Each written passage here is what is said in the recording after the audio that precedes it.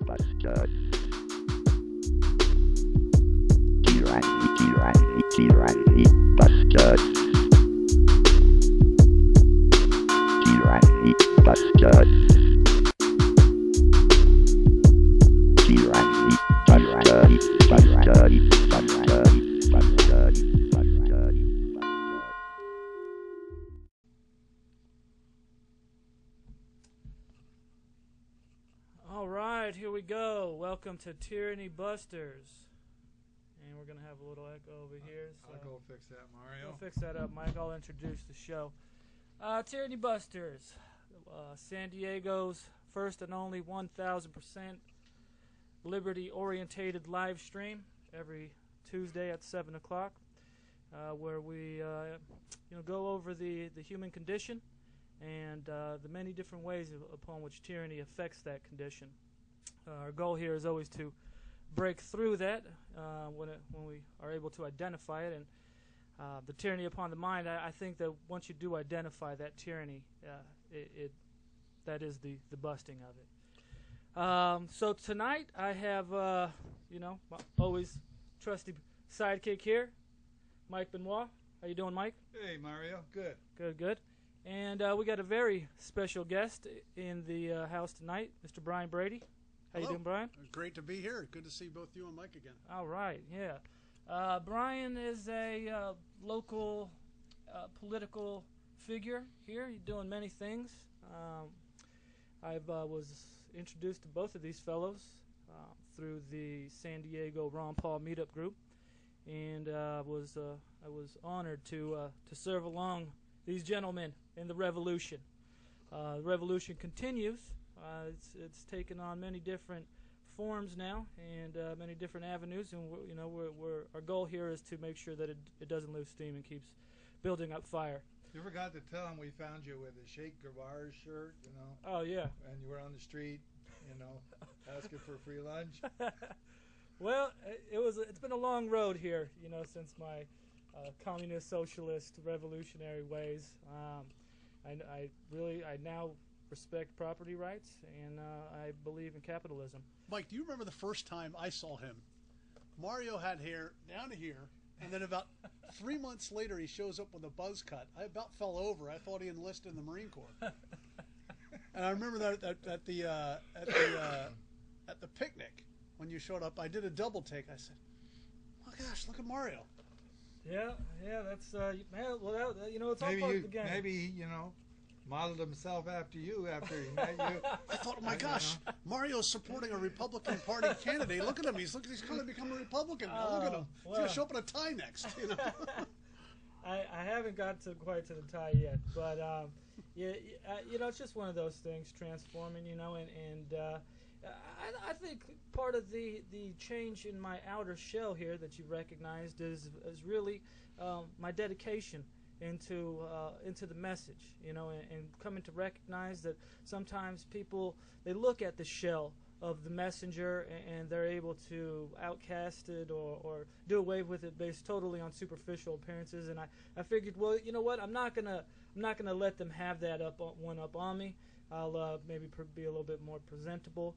Um, I'm also having a baby you know so That's great news. When?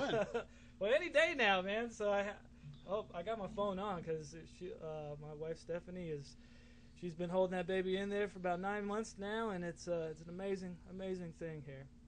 Uh, but let's uh, you know we uh, invited Brian over tonight um, because Brian is a uh, like I said a major figure in the uh, local Republican Party here in San Diego. You're part of the Republican Central Committee. Now. I am. I was elected. That office I'll take in uh, December. But uh, prior to that, I, I was appointed as uh, an alternate, and so I've been on the Central Committee now. Uh, this is the second time I've done it since I was 18. First in San Diego, when I was 18 and 19, I was on the New Jersey State Committee, uh, which was a weird story. I, I'll tell you if you, you don't know mind. Chris Christie? I don't know Chris Christie. Back th- back when I was 18, he was like 22. I think he was. Uh, I think he was uh, winning pizza eating contests down at the University of Delaware back then. but uh, when I was 18, yeah, I, I I walked out of town hall when I had a mayor in Cherry Hill, New Jersey, who lambasted me for registering Republican at the time, and this is back when Reagan was president. And uh, as I was walking out of City Hall after I was finishing my first voter registration, a guy came up to me and said, "Well, you know, you ought to go to the county meeting." So I went a month later, and then they said, "Well, you know, you ought to become a county committeeman." So I went and said, "Okay, I'll run for county committee," and I won. And then the county, I guess, was warring with the state, so I got appointed by the county committee as one of the two state delegates. So I was like 18 years old, going to these New Jersey State Republican Committee meetings. And the thing that really crossed my mind, my sophomore year in college, I had a libertarian economics teacher. So naturally, I'm at one of these state Republican committee meetings in New Jersey. And they're talking about how to dole up the trash contracts in New Jersey. And so naturally, I raised my hand and said, By what authority does the state government have in trash collection? And a guy from the back of the room with a bunch of gold chains said, Someone ought to tell Mr. Villanova to uh, leave leave the Republican Party decisions from New Jersey trash collection to us. So I got introduced to corruption. Yeah, well, that's, And, that's how uh, it goes, man. It's it's all over the place. Uh, well, I'm glad that you've taken a stand against that corruption.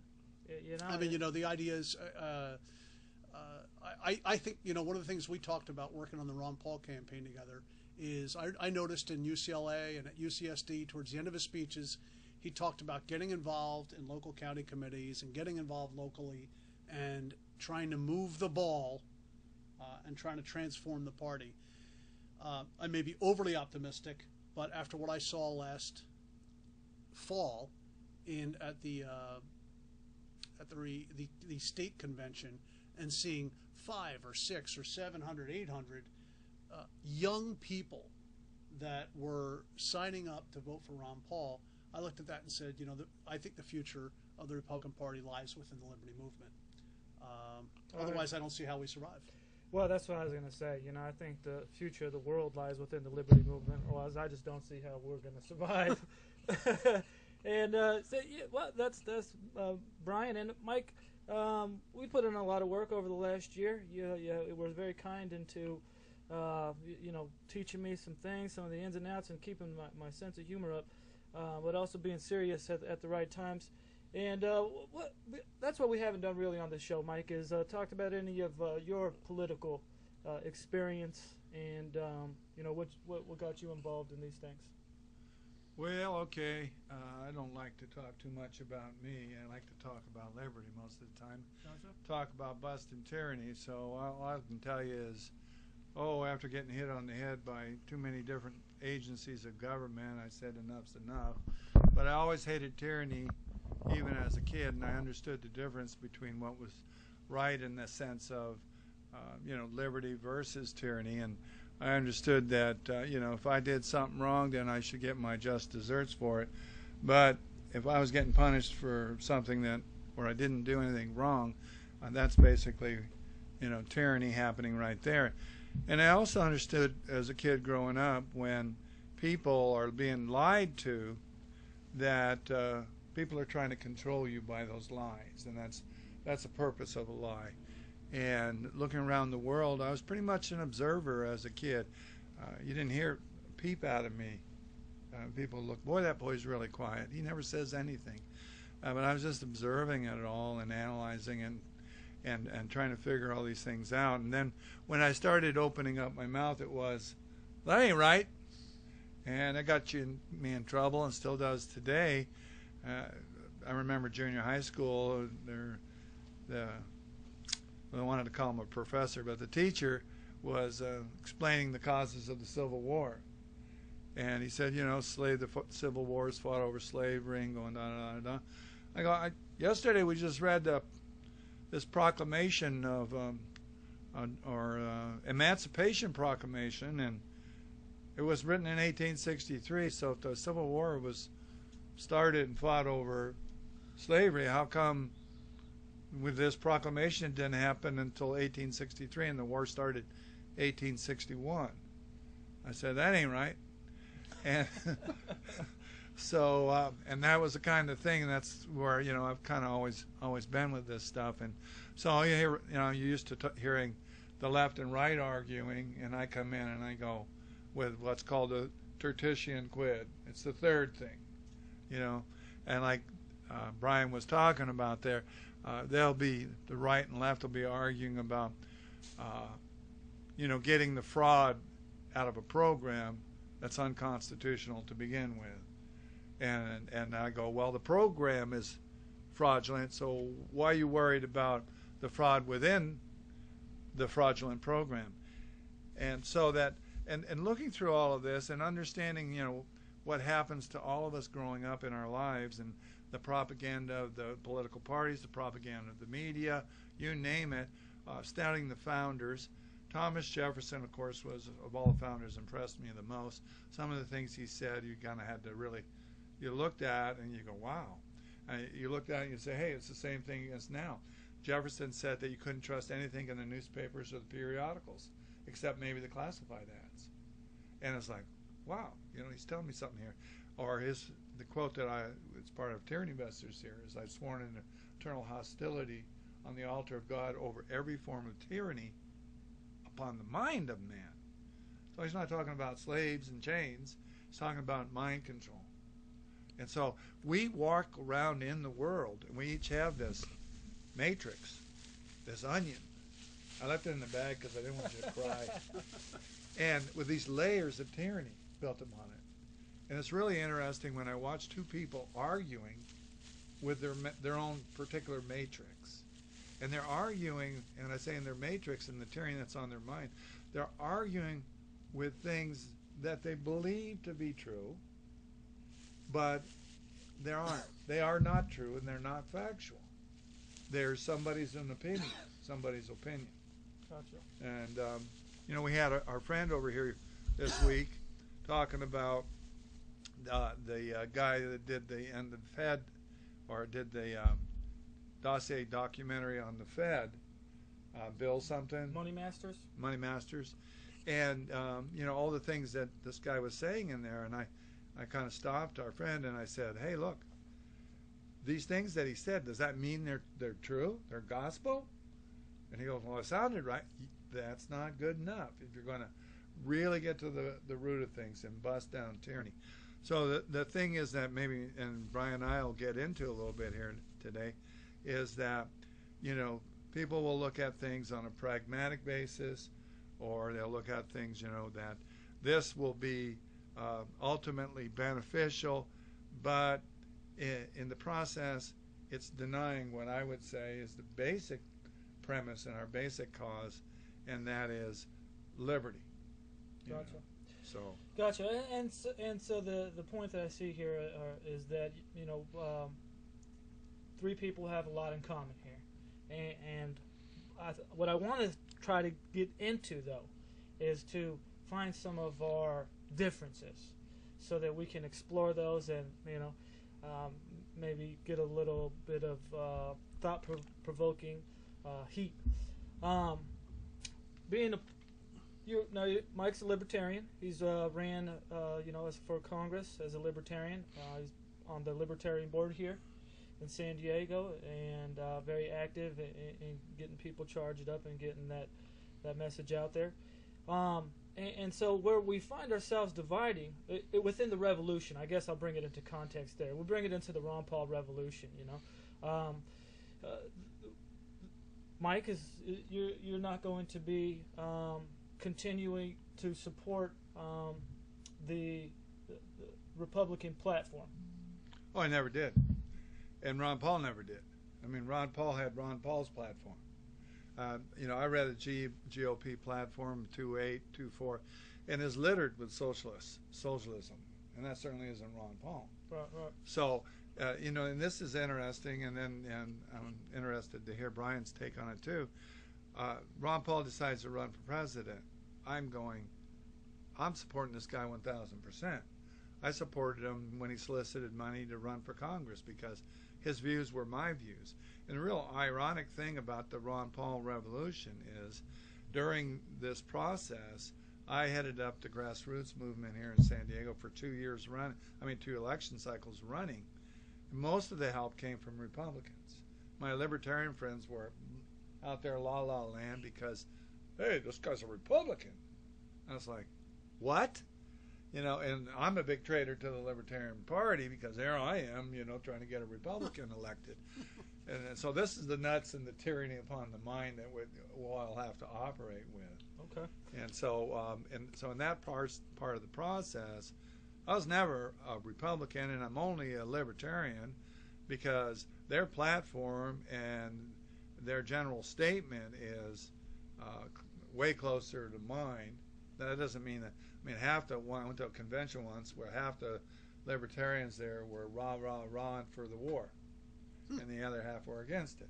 So it's like you know, uh, and being a real individual that's about liberty and busting tyranny.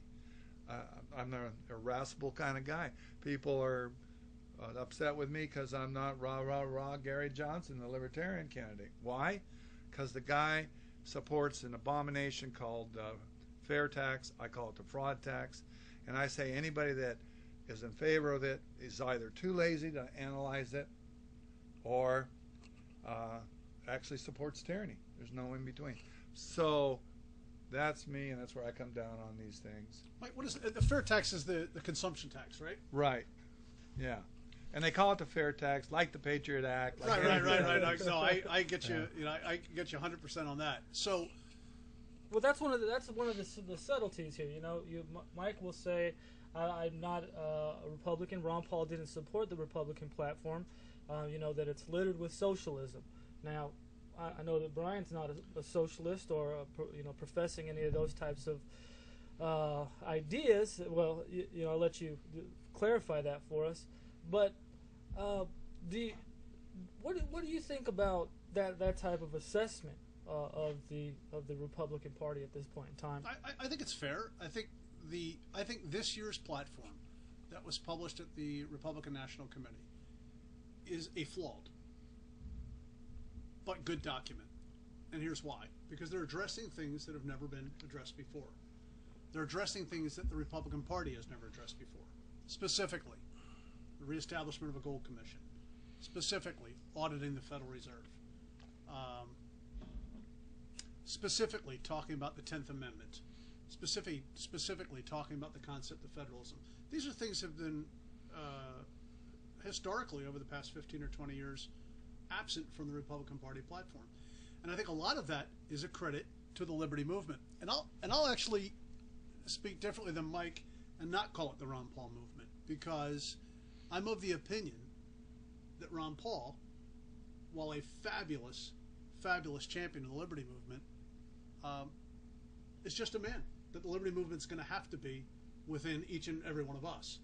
Uh, and now that just the man is retiring from public life, it's incumbent upon us even more to advance these ideas and to have shows like this and have discussions like this and to try to advance the principles of liberty. Mike, you're right. Is the RNC document riddled with socialism? I don't know if I'd call it socialism, but clearly collectivism. Um, is it a flawed document? Absolutely. I would agree with that too. Is it a good document? It's the best I've seen in 25 years Okay. coming out of the Republican Party. And you think it's the best because it's having to address the Because I think it's addressing issues that are that are now coming to a head. I, I give you an example. The Federal Reserve is such, you know, I, I work in, in the financial services business, so I, I, I knew about the Federal Reserve forever. I didn't really start realizing how insidious the Federal Reserve can be till about 2004, 2005, when I started saying, wait a minute, I thought I thought the Fed chairman was supposed to manage as if we had something behind the dollar when I saw the detachment. When when and, and uh, this is a lot of like what you went through too. I mean, as you learn more and more, you start saying, "Wait a minute, that ain't right," right, Mike? I mean, you you get to that point where you say that ain't right. I mean, the whole idea was we trusted this guy to manage our money supply as if there were something behind it. Well, guess what? I mean, there was nothing behind it, and when you give a guy that much power, He's eventually going to do what he thinks is right temporarily, Mm-hmm. and of course becomes a problem. These things never would have been, um, never been, would never would have been brought to light within the Republican Party without Ron Paul Right. and without Liberty people like him. Right. And so, as uh, you know, a position that I find myself in, um, having you know friends of, of all different type of political persuasions here, um, and, and the folks who are uh, who may, may have been Republicans uh, already, but were, were were supporting Ron Paul, they have um, continued on with their support of Mitt Romney and Paul Ryan as the presidential, vice presidential uh, candidates. I got, wait a minute, I got to bust some tyranny here. Uh, you know what Brian just said there, you know, and about the document.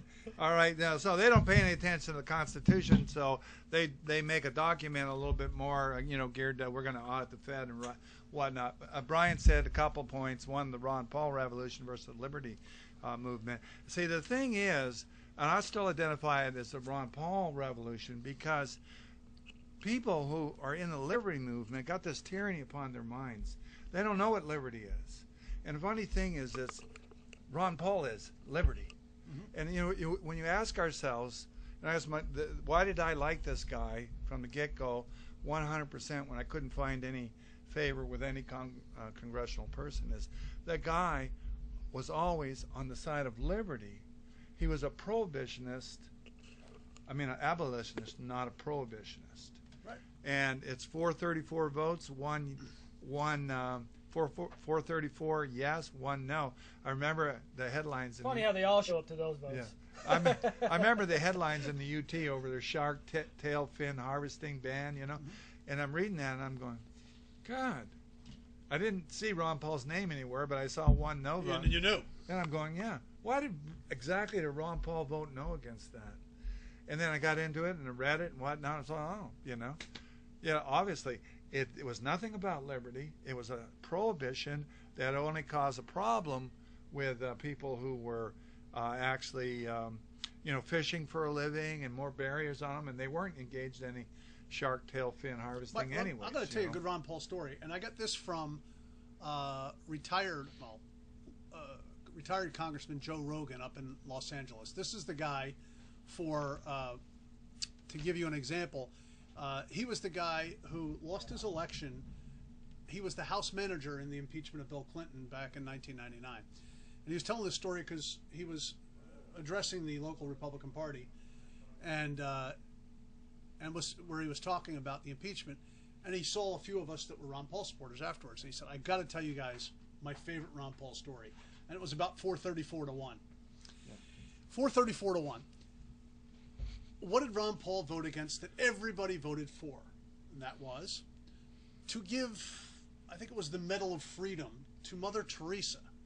So Ron Paul clearly hates Mother Teresa. Oh yeah, Except that sick man. Joe Rogan said, something's got to be wrong. I mean, why does this guy hate Mother Teresa? so he went over, and of course, Ron Paul said, I don't hate Mother Teresa. I looked in Article 1, Section 8, and I do not see where it gives me the authority to grant the Medal of Freedom to Mother Teresa. However, if you'll check with the House, I think it was called Sergeant at Arms, you'll see that I wrote a check for, call it $560 uh, payable to the U.S. Treasury so that I can give my one 130, 40, 40, one 435th amount towards the medal. Will you write that check too, please, Joe? And I thought that was just a classic Ron Paul story. Uh, Let me punch right in there on that one. Now, Ron Paul said the Constitution didn't authorize it. Mhm. But Ron Paul knows that that's a violation Right. of our property correct. rights. And that's why the Constitution doesn't allow for it. Mm-hmm. Because our government was established to secure our rights, not to violate them. And those other cretins were vote, voting to violate our rights. And so that's even more important than the Constitution says, because I know Ron Paul wouldn't condone stealing if, Right. even if the Constitution said you could do it. It said, You know? "Hey, you're you're allowed to tax people for give uh, medals out to people who've done good things." No, it doesn't say that. No, but if it did, Yeah, if it said that, he would he would be against it. Right. Okay, he'd say that is uh, unethical act, even though the Const- Constitution needs to be changed. He would say, and so that's why I keep referring to it's not a, the liberty movement. People I, I run across out there, They they don't understand that at the core of government is the protection of our rights. And whenever they do the opposite, they violate that, then they're the enemy. They're our enemy. And I can't support these guys when people say, well, you know, and we'll get into that, moving the football in the right Right, direction. right. right. You hear me talk The- about that all the time. Yeah, that, when this this guy stands for somebody who violates my rights ad nauseum, I can't support him. Mike, I can understand that, and this is why you'll this is why you'll rarely see me say to people uh, when I talk about why I'm going to vote for Mitt Romney in November. That's And- what we all want to know here, Well, I, I, I, but but but because I'll I'll go to that football, moving the football down the field. Cool. But here's the thing. Because I don't want to feel like I'm not part of this football team. You know? No, When- no, no. I understand. We're talking No, about I moving understand, and I don't want to get into tyranny. You're, you're the mine, re- either. you're the referee, right. But but but here's the thing. but Mike. you're only a Mike, substitute. I, I, I agree with you 100%. One of the greatest things you taught me, uh, one of the greatest things you did was hand me Bastiat's The Law and said, read it. It, it lays out it lays out the model for a society. it lays out the model for a, a just society very well. Um, and, and I believe it is something uh, should be incumbent upon uh, every high school student to read. it. I mean, if you're going to force anything in schools, that would be the one thing I'd force is for every high school kid to read the law. well, I'm against force and I know you're against force and fraud, Mike. so, but Well, th- but is- but but is that would be the one thing. But but here's the thing. Here's the thing. Here's the catch. Mike, we're losing on the education front. The, it's 434 to one. We have to move the football down the field. Well, we're losing Brian because we're not going with the one. That's why it's 434 to one. We're not going with one. The one. We're not going with liberty. What is the public education? But an abomination. I agree.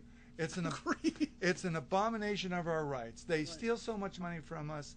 We don't have anything left over to send our kids to the school we want to send them I, to. well, I I agree completely You know? with you. We talked about this a year and a half ago when we t- when I talked about school vouchers, and you said absolutely not. If anything, do it, make it tuition tax credits. And I said, but but but but, and you said they're, they're not entitled. And and I agree with you on this. But I think the point I'm trying to make, and I and and, and I see what I see the continuation, if you will. There's I see two ideas. There's the education approach and there's the political approach. And if you're going to pick one of them, um, there will be those that say the education. And I agree with you, Mike. We have to talk about the concept of, you know, a just society. What's moral, what's immoral, what's theft, what's not theft. And I think we need to talk about that all the time.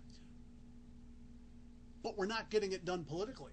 Well, we're not getting it done politically, and you're not, and you're getting the opposite done educationally, if you will, and that's this because you look at the basis of what it's rooted in.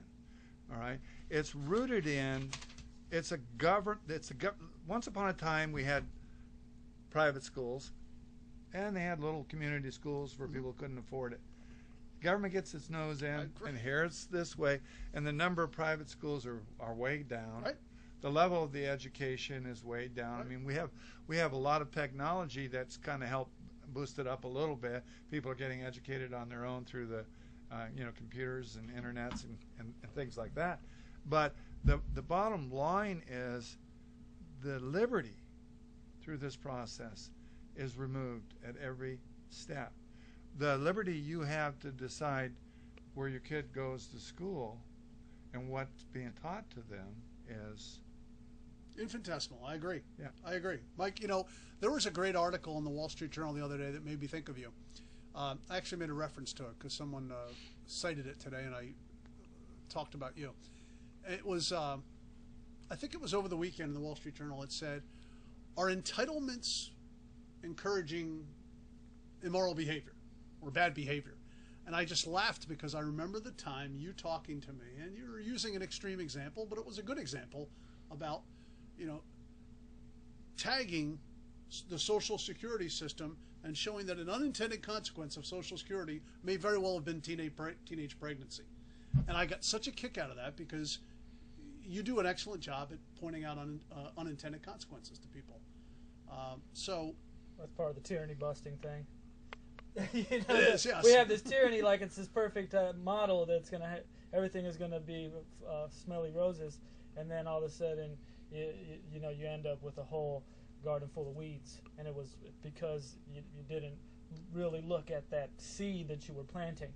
And and this this is the, this is like why where I find myself at, and uh, that's what I was going to get into. You know, people are saying, "Hey, Mario, you should, you know, you, you should be happy with what you're getting with Romney and Ryan, because um, you know they they are better represent these ideas that you have about having a limited government, having a, a, a constitutional government, um, a government that's you know, um, built up to secure our, our, our rights here. Um, but but I, I, I, I have a hard time wrapping my mind around that Romney and Ryan will actually, um, you know, do justice for the cause or, or, or in any way carry the football that Ron Paul was, was, was you know, had brought onto the field when he was the quarterback. So th- this is my, my question, um, and to that and to those regards are, um, do you think that Romney and Ryan are, are going to um, be uh uh leaders in this liberty movement? No, no, absolutely do not. And and and here's the reason that I'll eventually uh, vote for Mitt Romney, and it's because I believe that the political process of moving us back towards constitutional government is not going to start from the top down. The executive branch is entirely too powerful in this nation. The executive branch has overstepped its boundaries, and we've gotten to the point where the Congress is absolutely doing nothing. They're, they're not standing up to the executive branch. They're not doing their constitutional duty. However, I believe that as we replace the Congress with people that are more constitutionalists, we'll start getting legislation uh, to repeal other legislation uh, or to bust tyranny, if you will. Uh, and I believe that, that we have a better chance of having that legislation passed with Romney and Ryan at the top than we would if uh, we have Barack Obama at the top. Okay, and so I mean, doesn't that sound like It almost wants me make me want to bust a balloon. You can Well, bust a balloon if well, you I was want. gonna say, I, I want to bust a balloon here. That sounds that sounds like it, Mike. I we mean, need more balloons now. We're going to run out of balloons because that that is really a, a tyranny upon the mind of man. And when I hear terms terms like uh, a constitutionalist, Uh-huh. I mean, I just love that. Uh, how many of those 535 guys think they're Uh, constitutional? probably 20.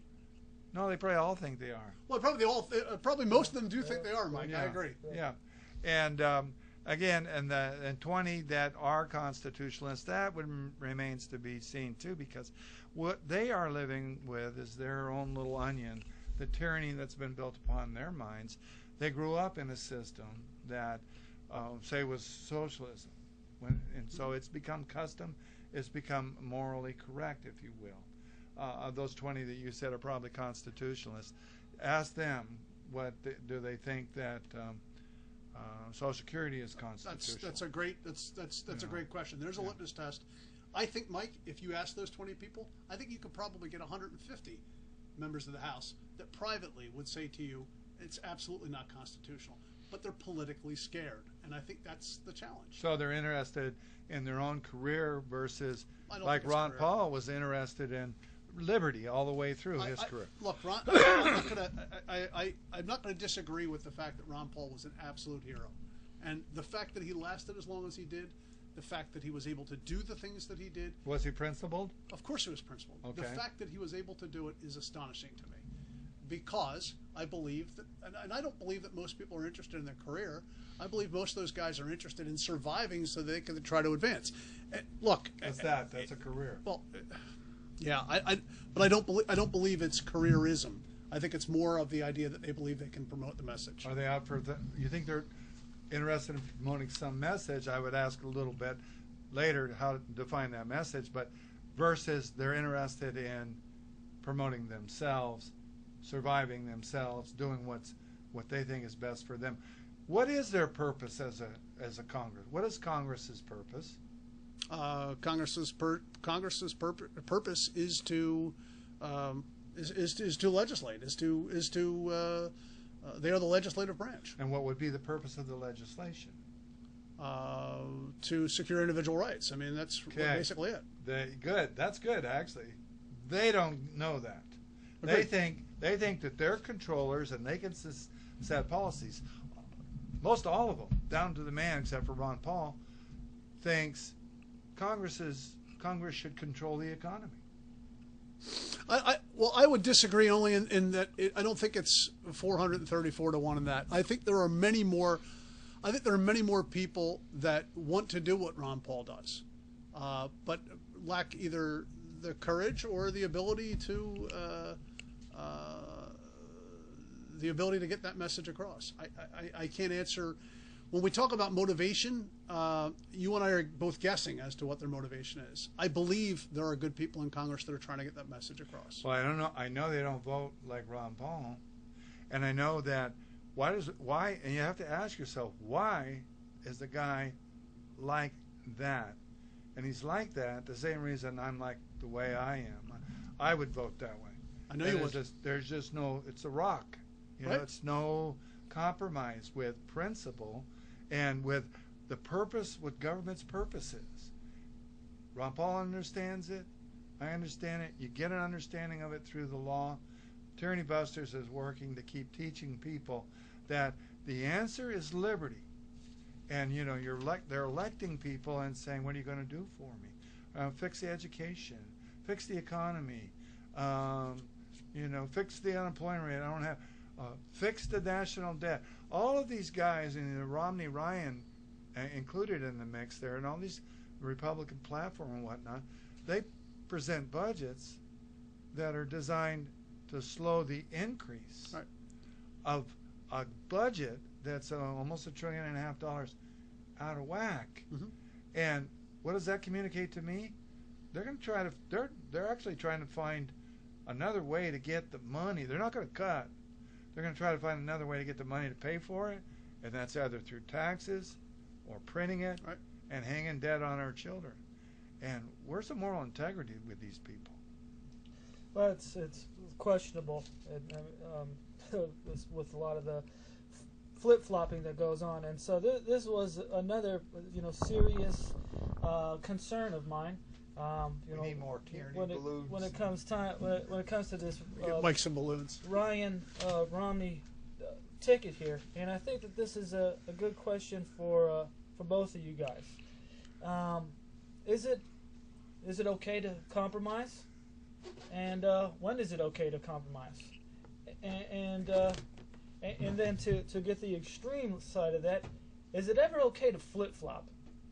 Is it ever okay, okay to say uh, one thing and and then two years later, when the uh, tides have changed direction, you you you use that Well, opportunity. let me answer that one. change. Uh, It's not okay to flip flop. It's absolutely okay to flip.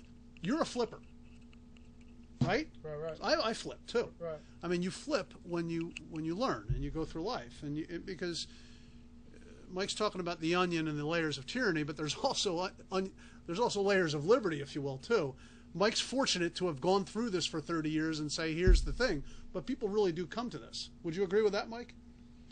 Um, you know, a, f- a few. I mean, it's still, I, I can always use Ron Paul, four thirty-four to one. You know, and the essence. No, I'm talking about people as they learn. they they when they they can come through, and uh, you know, peel the layers of tyranny off, but not until they recognize that they are living in a matrix, and recognize that these opinions that they have may be inaccurate. They may be based in tyrannies upon their mind, and to examine everything that they believe to be true, that they're they're getting ready to put forth of an argument, and and somebody's maybe countering it. Really look hard at yourself and your argument and what they're saying. Realize that it's possible, and then you you have a chance to come out. If you realize it's possible, that you've got some real faulty programming, some real tyranny on your mind, and then it, is possible to move forward. But if you hang on to some justification to an old idea, it's just like when Mario got kicked out of that Tea Party group Mhm. because he wants to argue a position that people have a right to discriminate with their own property, and when um, he, makes a point to win his argument by saying, "Well, uh, it sure everywhere religions everybody discriminates. Can you be a priest in the Catholic Church if Mhm. you're a woman?" Right. that was enough to get him thrown off the group, because, uh, but so if these people have people have attitudes where they're not going to look at what the, whatever these premises are that they're operating with, then um, then they won't be able to peel off the onion. And far too many of us have these false premises. We talked about the Tea Party groups earlier. I couldn't tell you what to stand for. Look, I saw one post where a guy was complaining about $136,000 of debt per person in this country. What kind of candidate was he supporting early on? Somebody, and maybe even now, Romney and, and Ryan, who are supporting that kind of debt. Right? They're tinkerers. I agree. you know? I agree. They're tinkering. Uh, but I think I think Mike just gave an answer. I mean, I, I think we we do want people to flip, right? To flip. Right. we don't you- want them to flop. when you say when you like say that. when you say flip, uh, I mean that don't use that open ended because it's like if they got the right position, I don't No, we don't want them to flip, right. Okay, We do want some people to flip. I want them to flip from a tyranny upon their mind by removing the layer of the onion, busting that tyranny, so they can sit there and they can look at it and say, you know what, uh, that was a false idea I had. You know. Well, and so that uh, brings me to exactly what I want to say. Okay, so if you flip and then you have this rock solid position here, is it ever okay to compromise that? Uh, you know, if uh, you're saying that um, if you you co- you you know you believe in the uh, right to for the Federal Reserve to exist, do you think this is a good thing? All of a sudden, you you you flip over into understanding what sound money is, and um, is it then okay to compromise that position in order to be more acceptable or to, to get voted in? I mean, uh, how do how do we stand on, onto these these these really hard uh, you know, pr- principles to have in this day and age? I think people. I think people with principles compromise them every single day. Every single day you use a Federal Reserve note and say that you stand for abolishment of the Fed, you're compromising. Hmm. I think every day that you, uh, Mike and I, flat out would agree that that, that that road socialism is wrong. That the the best way to run the roads would be through property rights. Let private property owners uh, charge tolls and maintain the roads and do whatever they want and give that gasoline tax back to everybody. Um, and yet, Mike and I drive on the roads. So I would argue that you are making compromises already every day. The question is how far will you make those compromises? And and politically, you're politically, if you want to work in the political spectrum, there are going to be compromises that made that are made. Um, I'm not happy about them, but I'm more interested in moving the message down the road. Okay. Um, and, and what, Well, you know, do wait, to, this, to jump into that too a little bit, uh, compromises being made. There's a there's a difference in that. Um, you know, you can say it's it's a compromise um, to live in the, the United States with all the political suppression. You could you could um, also shoot yourself. Uh, it's not a compromise when there's no option, other option open um, uh, to exist, uh, or you or die. Uh, that's really a, an enforcement of a, a physical enslavement on you, but where the compromise, where you would be compromising if you once you understood that the Federal Reserve banking system is a fraud, it's a tyranny, it's a sophisticated theft beyond anybody's imagination, is that you don't condemn it and call for its end, and don't call for a substitution of it with something as e- as equally vile. There's people that are calling for end of the Fed, but they want a national bank controlled by Congress No, to print fiat currency. there's no reason for that. No, there's no reason for that. And the, the real true position would be look, we're all enslaved to this Federal Reserve banking system. We should allow for competing currencies.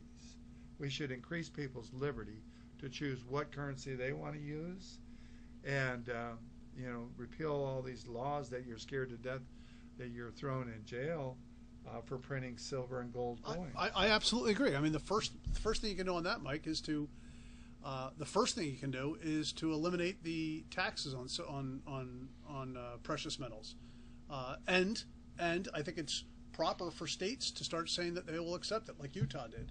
Uh, and once you start doing this, and yes, absolutely stop putting people in jail for making up little round things, little round things of ounces of gold that have the an eagle or whatever on them.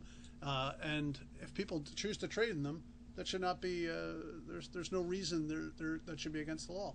Now you and I both know that Gresham's law will come into play, and the Federal Reserve notes will then become less uh, less used, uh, Right.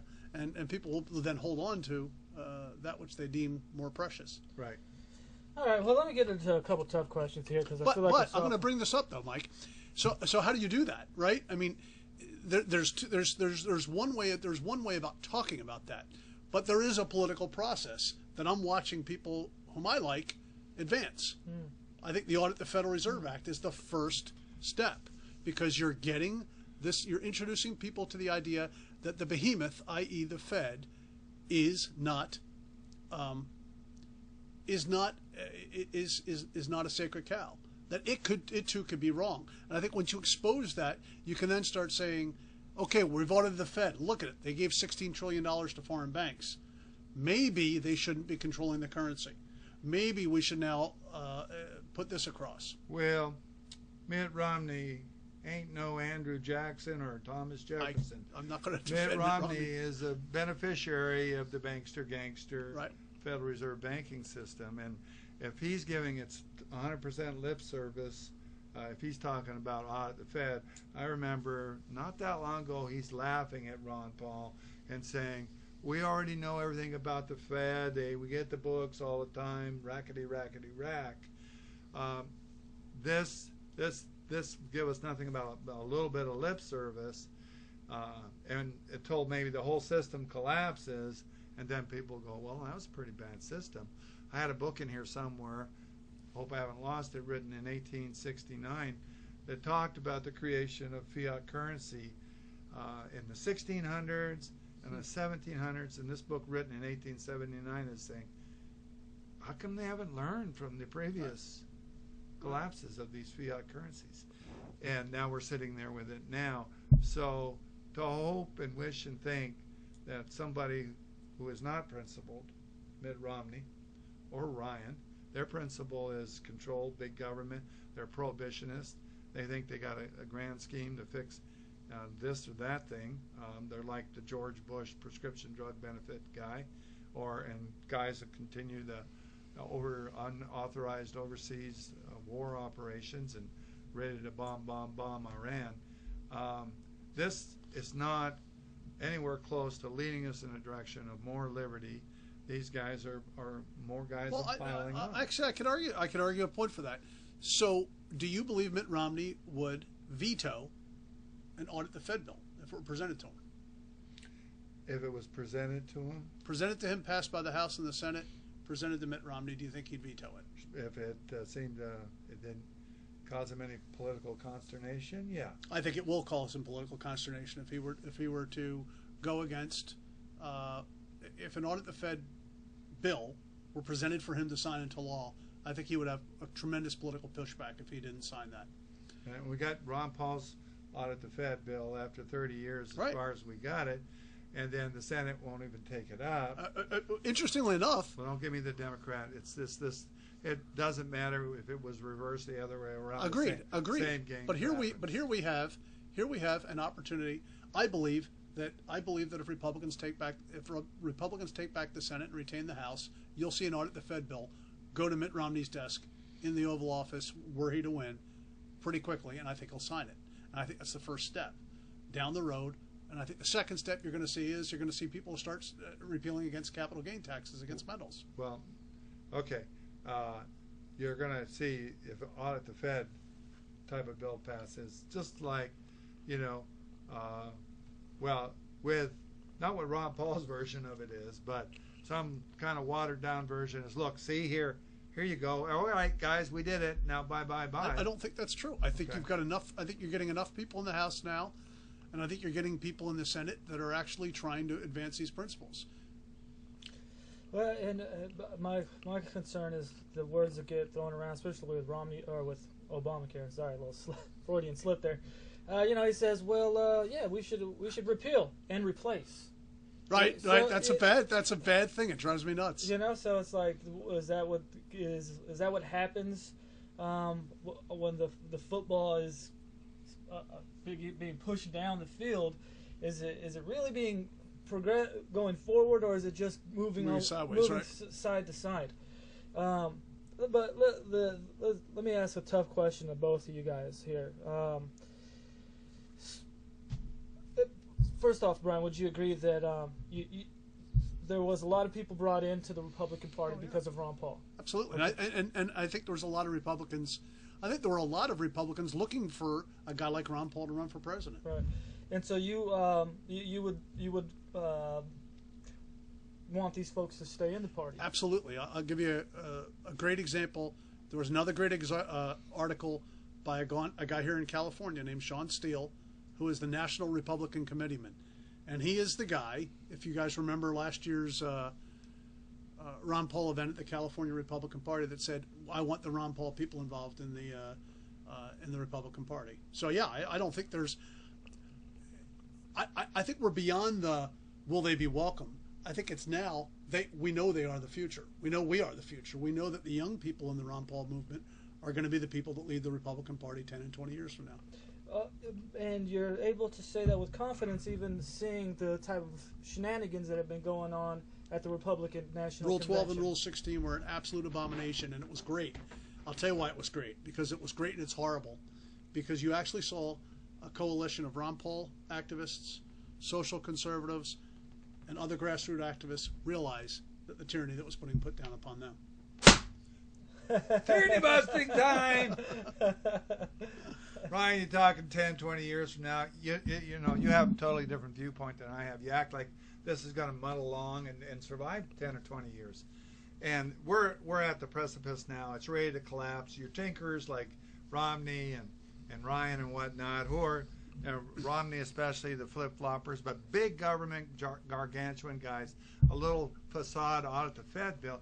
The, pro- the, the problem is 100 years of this fiat currency is reaching a, a crescendo point of collapse. It's, we see it worldwide, and we got a, a, a federal government that is incapable of cutting itself down to size. So it's going to continue to suck out of the private sector. We got the private sector dying on the vine here, and and then we have the government continuing to mushroom like this, where everything's going to collapse into this mushroom cloud called the federal government, destroying the remaining amounts of freedom that we have left. And it'll be like you got your government ration card, you got your government gasoline ration card, and you got your government issued clothing and your government issued job that you work at with your government issued, and all your mortgage industry uh, collapsing into the bankruptcy courts of the federal government, into the receivership ownership of the federal government. This is basic economics. Well, this leads me into the tough question I have for you, Mike. You know, a lot of folks are going to say that yeah, this you you the picture that you're painting very well may be true. They might not agree with you on the timing of it, um, but these a lot of folks will say that if without using one of the two large parties right now as a vehicle for this message, that then um, how are we?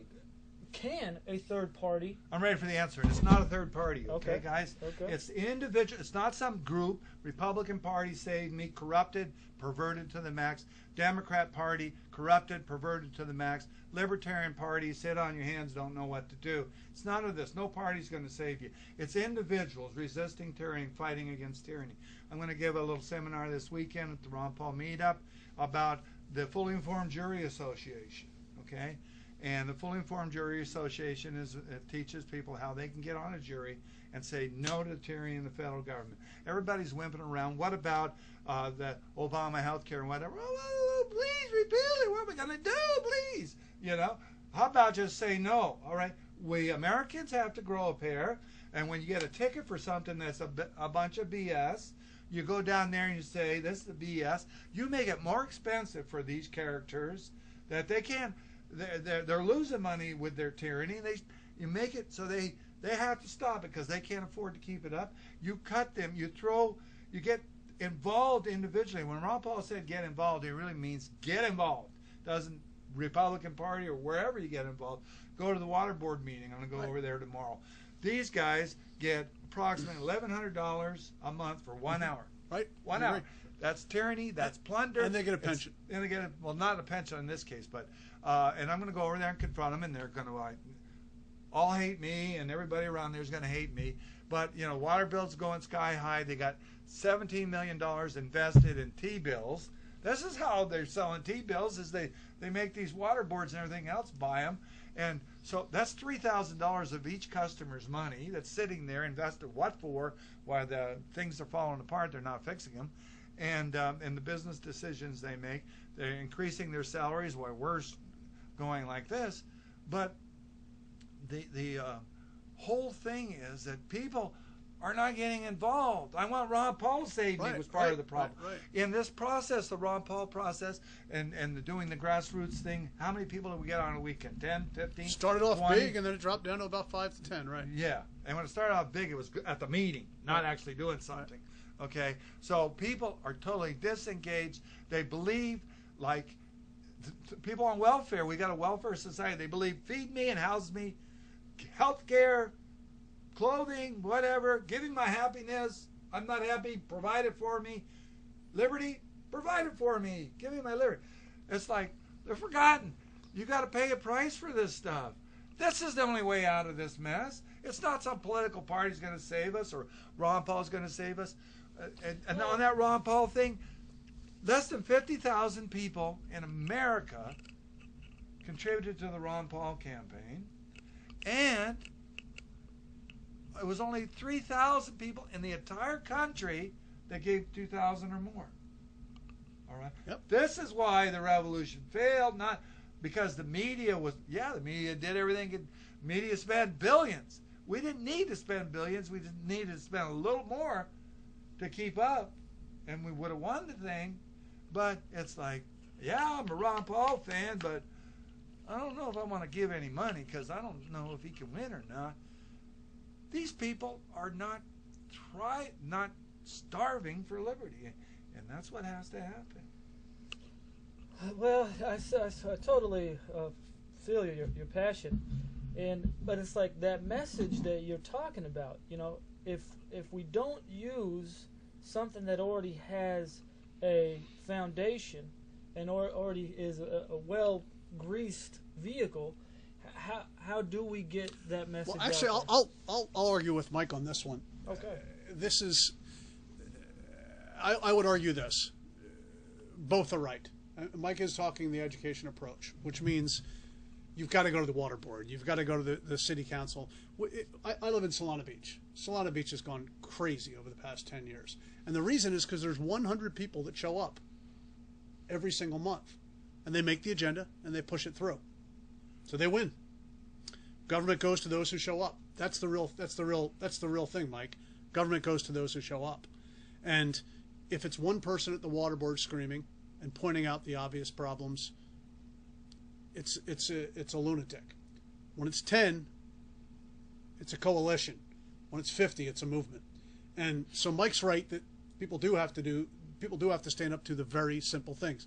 Solana Beach, we have uh, two things. We had a uh, business licensing tax. It was only twenty-five dollars, but I obviously went nuts, and I and two other people led this movement to defeat Proposition L. And it was very simple. Just went around to every business and said, put up a little sign that says no one L, and tell people why. Tell them it'll cost jobs and get businesses closed, and we won. Uh, and then what we haven't won is the plastic bag ban. They've banned plastic bags in Solana Beach. Plastic bags are now banned in Solana Beach. Which does cause unemployment. Absolutely. We, my, my wife saw it today at the uh, the other day at the Vons. She was at the Vons, which is one of the two grocery stores in Solana Beach, and she said everybody's going to Albertsons because of the plastic bag bans, so they cut my hours back. Interesting. Right. So I, I will make I'll make I will agree with Mike on this that it absolutely has to be in the individual, has to reach the point where they've realized that enough is enough. However, when I go back to the government goes government goes to those who show up, I believe you do you can be more effective within a political party if you take over that party.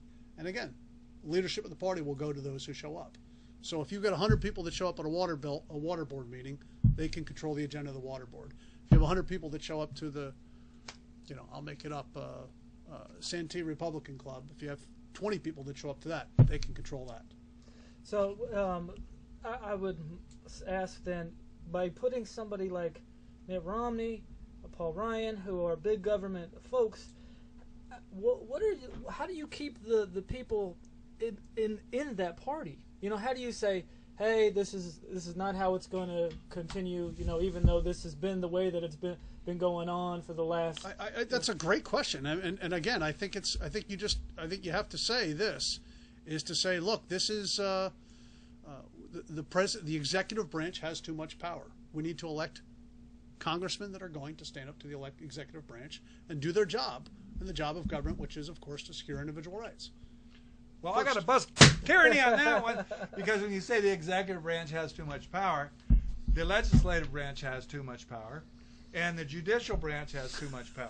Right, Because- I agree. Because what you got is Congress writing this stuff like this Right. on top of the Constitution, and they're supposed to know and love the Constitution, and the executive branch piling on top of that, and then you got the courts piling on top of that, and these arguments. Oh, you got to support the Republicans because uh, you know we need a Republican Supreme Court justice, and Roberts just keeps Obamacare alive. Right? He could have put a Sick a dagger in the heart of that He could have- evil beast, right? All he had to do. yeah. Go So- ahead, man. Go so- ahead. All he had to do. Keep going. we gotta get this. All he had to do. the balloon. All Justice all Roberts had to do was that. Yeah. Could Nice. have busted that tyranny. And so. the- Damn, that sounds too easy, man. Looks too easy, man. Well, how does it? How can it not be what's going on? Well, the thing is, is that people are so matrixed, compromised, believing they believe that we got a constitutional government happening here. We could sit down and go over the Constitution, and I could show you what remains. We talked about yesterday. No state shall accept anything but gold and silver coin as payment in debt. That's constitutional. That's ironclad. That is a mandate from the Constitution to the Fed, to the state governments, and they don't obey it. And you got one after another that deals with that. Uh, you know, the right to keep and bear arms shall not be infringed. Let's ban assault weapons. The, the which, free, which, which means, which nothing. means No no law. nothing. No law. No licensing, no registration. It is what it is. It I is agree. what I agree with you completely on that. Yeah. And so we're under this tyranny upon our minds that, that we're living in a free society. And until we bust that, until people realize, no, we're not, and stand up, you know, we got the TSA thing. Well, we got this guy, Sam, that you might know about it. He's uh, active uh, with the Open Carry and Sam W. His last name's hard to pronounce. One guy, one man, stands up and resists that tyranny. Mario talked about something. What if everybody just said, uh, I'm not going through the scanner. Everybody says pat down. Mike, I, there's a, a, a good friend of mine I spoke with. Uh, he and I were talking about how uh, how insidious and, and immoral the income tax is. Yeah. And all it takes, you know, it, it, it only takes 100, 200,000 people to, uh, it only takes a couple hundred thousand people to repeal it. But who goes first, right? That's the challenge. Right, I know. you go first. No, you go first. No, I understand. No, let's all go Hey, together. let Mikey do Let's it. Well, as No, but, I, yeah, but, but our- Mike, I think that's the you know that's a great point. I mean, I hate the TSA, but I wanted to go to Philadelphia. Uh, I mean, this is the challenge, and I'm not saying this. I'm not saying this explaining it. This is the challenge we live in our lives every day. Is and while I agree with you that people have to finally stand up and say enough is enough. If you got a million people to just say on April 15th, not this year, the income tax would collapse. Actually, Brian, there's way more than that. but it's kept a secret, and um, that it's kept a secret because they want to control the 130 that are paying it. If they knew there's 60 million that aren't filing in, income tax returns, I know a friend of mine. His mother's 80 years old. She's never stopped working, never filed an income tax return in her life, Hmm. and um, so there's somewhere around 60 million that Good. don't. But the propaganda is if you don't, you're going to go to jail. Da da da da. People like me that are going around busting the tyranny, our our heads are on the chopping block. But those 60 million that are, the government will get a, a guy like Wesley Snipes to keep everybody else in control, you know, because he's uh, popular and whatnot, and got too much to lose, so he, you know, caves into him. But uh, the truth is, there's at least 60 million people not paying that many income tax, working outside of the, you know, corporate umbrella. And I say God bless those people because they're not funding this tyrannical beast. You know. All right, well, there's our hour, man. It went by really fast. And Brian, thanks for coming Well, on the absolutely. show. Thanks for having Hopefully me. we Hey, can you have made it it back fun. on Fun there. You made it fun, yeah. Yeah, Yeah. yeah, I was uh, much more civil than I thought we were going to. Good job, Mike. Because I didn't want. That's why I had to sit in the middle. Well, I, I mean, I, let me let, let me tell you. I think why it's civil. Mike is one of the greatest educators out there, and Mike, you have a great knack for knowing when to push and when to just say okay, and and you're good about pushing, always, but not too hard. And I think you do a great job. When I talk about How this come I get so many people mad at me? I, I don't know why. Some well, people don't like to be pushed at all. Right. So I think people don't like to be pushed at all, and people hate to be told that they're wrong. And this is why I rarely will argue or debate with Mike, because it's because he's usually right. Uh, Well, I'm going to go over the water board tomorrow. Well, if I had one of those balloons, I'd pop it right now. there's going to be. do you guys gonna wa- be you guys waterboard people on this show? I didn't know that was. Well, is this what this thing's for? the waterboard, and I'm going to go over there and say something, and they're not going to. No, they're not going to like it. They're not going to be happy. well, and then so like uh, you know he was saying, we get five, and uh, uh, you know you're a you're group, 10 Right. or ten year coalition, Ten year coalition, fifty year a movement, So uh, and a hundred. You're the water board. well, man, You're the new water board. we, how much would they be paying then? I hundred don't know. thousand dollars a month plus health insurance. Jeez. All right. Well, uh, thank you for tuning in to Tyranny Busters, and we'll be here next week. Have a good night. Good night, all.